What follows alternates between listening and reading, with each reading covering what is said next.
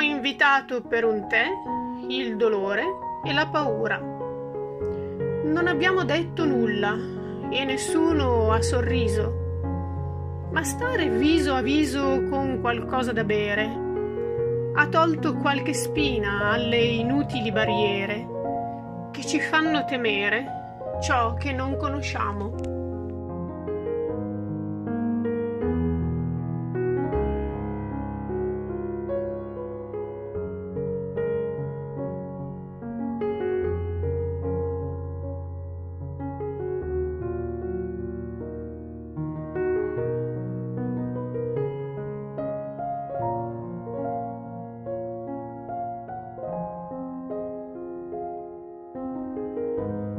I invited for tea Mr. Pain and Mrs. Fear.